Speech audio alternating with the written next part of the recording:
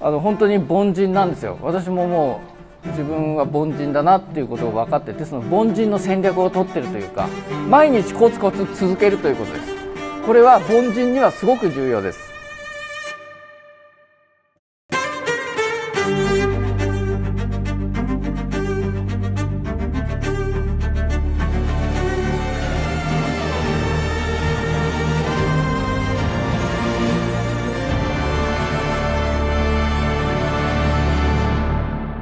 新時代の経営者山下誠二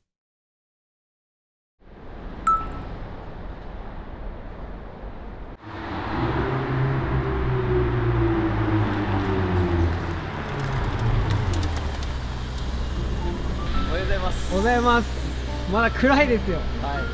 あのもうそこ首都高の入り口なんで乗ってください、よで今日もよろしくお願いします。ろしくお願いします早すぎませんかこの時間は？そうですね。年に数回ありますねこういう日が。まだ2時半ですよ。はい。今日私23時に起きたんで昨日起きたっていうことになるんですかね。そうですね。はい。24時っていう境界線を越えると早起きなのかどうか分かりませんね。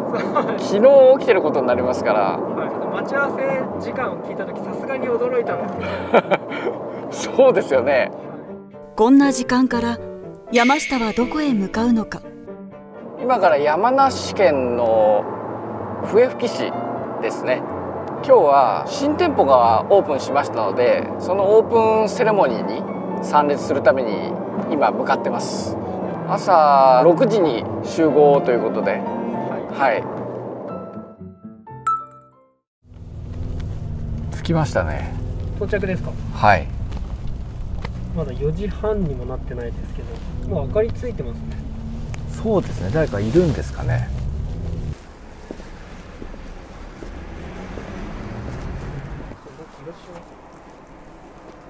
あ、おはようございます。あ、いたんですか？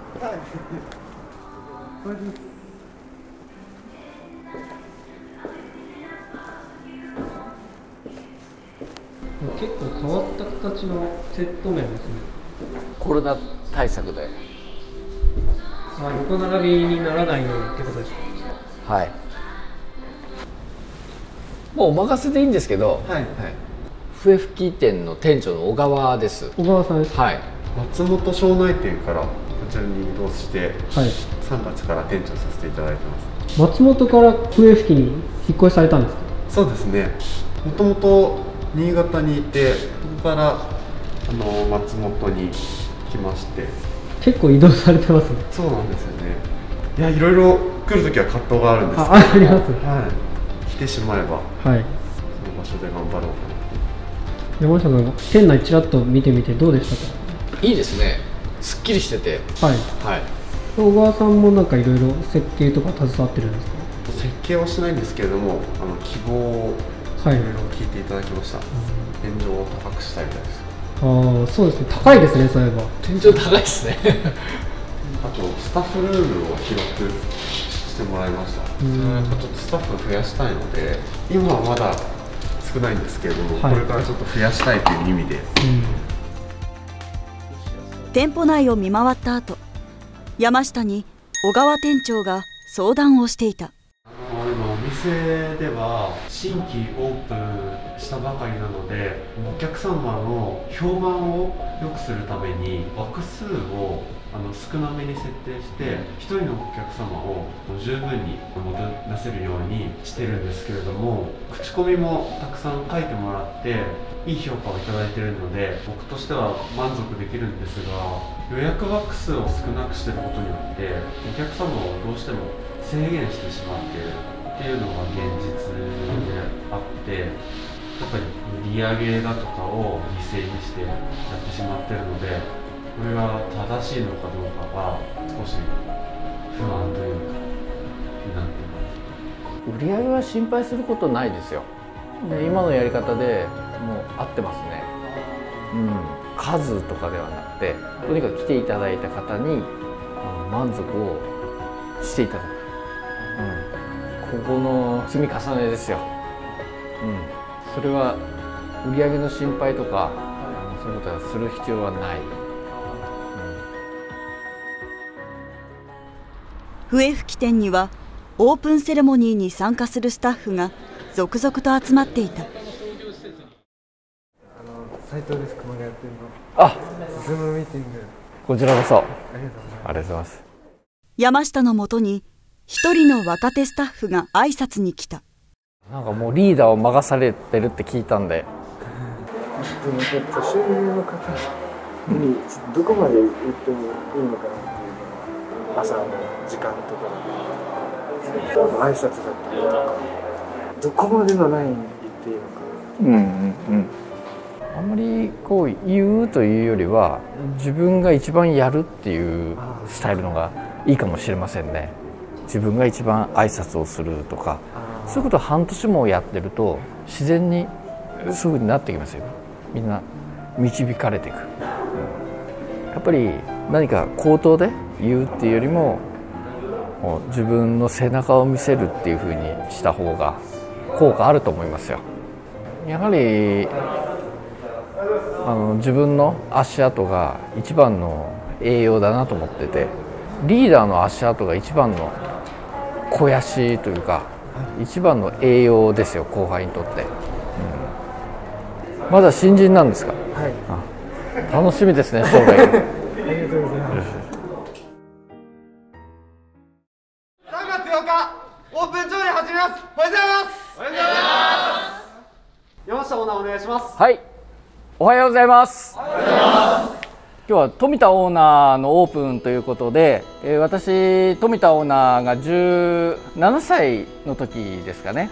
あの私が銀座の店長をやってる時に入ってきましてそれからずっと一緒に仕事をしてもう今は独立して経営者としてやってるという状況なんですけども、まあ、我々2人ともあの、まあ、凡人でよく富田オーナーすごいから真似できないっていう風な後輩もたくさんいるんですがあの本当に凡人なんですよ。私ももう自分は凡人だなっていうことを分かっててその凡人の戦略を取ってるというか富田オーナーは分かりやすく言うと、まあ、虫眼鏡だなと思ってまして虫眼鏡のような観察力とにかくしぶといんですよね。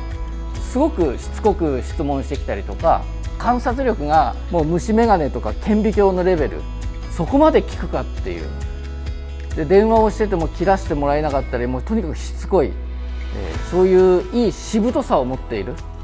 あともう一つが、え虫眼鏡のような集中力。虫眼鏡で照らして髪を燃やしてしまうようなそういうものを持っている。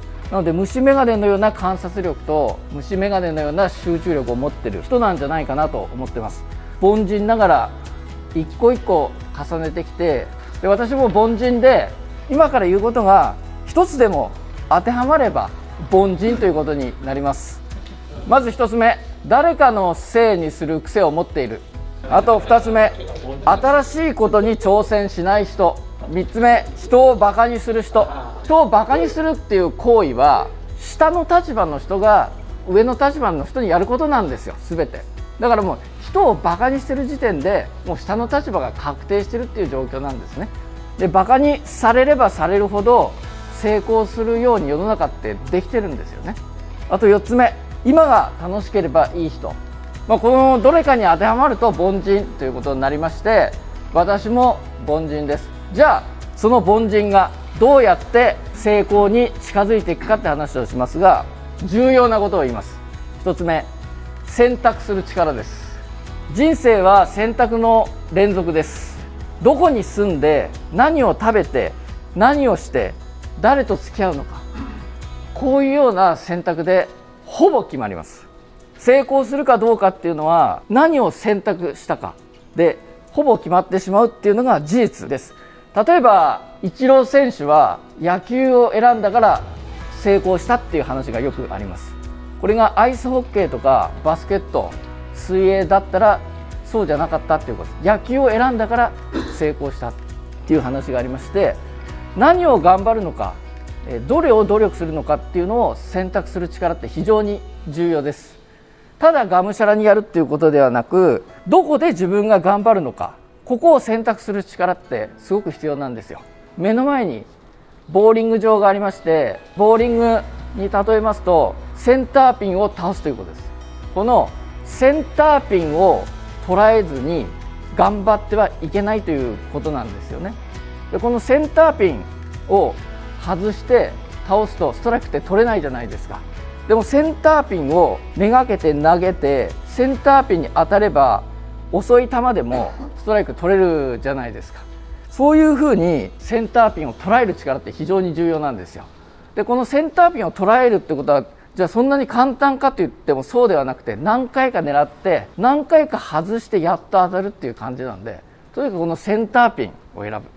コンビニに例えたらですねセンターピンは何かと言ったら立地です。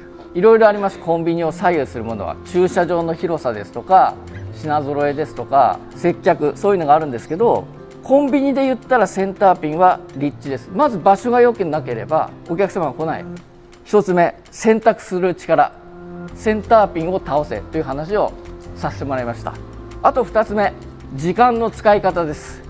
あと凡人が成功するためにはとにかく時間を使うっていうことが大切です。1つ目は目標を達成するために必要な時間を決めるということです。